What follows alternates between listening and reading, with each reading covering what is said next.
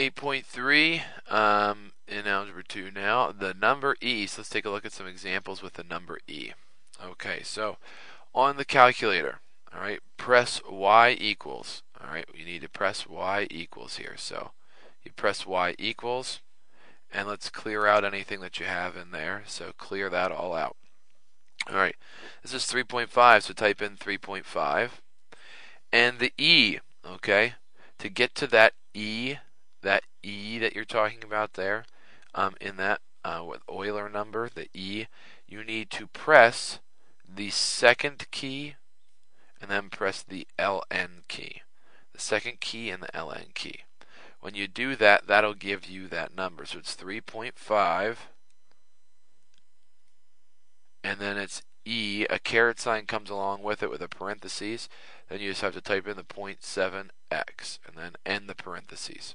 What you need to type in. So when we type that in, we go to graph, and the graph that I get looks like this.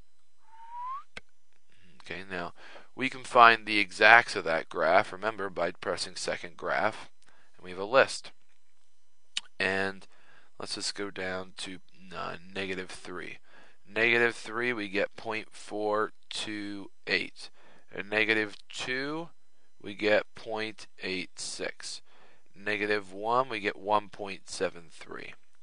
Um, 0, we get 3.5. 1, we get 7.04. Uh, 2, we get 14.1. Okay, now the point is, when we're doing this, um, I plot the points. Negative 3 and 0.4. Negative 2 and 0.8. Negative 1 and 1.7, we'll just say is there. 0 and 1, 2, 3 and a half is right there. 1 and 1, 2, 3, 4, 5, 6, 7 is really close to 7 there. And 2, and we'll just say is 14 is way up there. So you connect all your points, and there's your line. All right, next up, um, go to y equals and clear that out now. Okay, so y equals and clear that out. It's just 2 minus, so that should be no problem. And remember, to get this right here, to get that, you have to do second ln. So, second ln, and when you do that, so far this is what it should look like on your calculator. A little parentheses pops up there. You put the x right there on the inside and then end the parenthesis and go to graph. And now my graph kind of looks like this. That's what it looks like. That's my graph. So if I press second and graph, I'm going to take a look at my points, is basically what I'm going to do. Okay? So I take a look at my uh, graphs there, if I clear this out, and take a look at my points, I have negative 4, 1.98. I have negative 3, 1.95. I have negative 2, 1.86. I have negative 1, um, 1.63. I have 0, 1, 1, negative 0.71, 2, I'm down to negative 5.3, and 3 jumps me down even lower. But the point by all this is when I go and plot these points, negative 4 and almost 2, negative 3 and pretty close, um, negative 2 and still pretty close, negative 1 and still pretty close, 0, 1, 1, and we're down here, 2, and we're down 1, 2, 3, 4, 5.3 and 3 is off the page, but anyway, the point is your graph goes down. Now, this problem, when we did this one, this has a horizontal asymptote right there at y equals 0. And notice how there's no number out here, right? This right here, if you look over here in this problem, the horizontal asymptote now is up here at 2, right? It's y equals 2. Now what's the difference between this problem and this problem? The difference is this had no number hanging out there by itself, and this number does. And that number is a positive 2, and notice how that's there.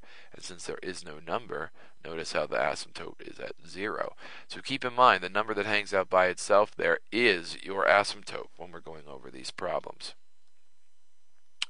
So when we go to graph this, you already have a rough idea, but um, when we go to graph that, the asymptote will be at negative 1, right? Um, the asymptote there would be at negative 2.